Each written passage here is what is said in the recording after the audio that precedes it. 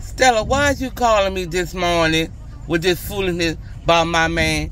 I'm in this line trying to get me a ham. If you keep fooling with me, I'ma bake your ass in my oven just like I'ma bake that damn ham. And you gonna be done.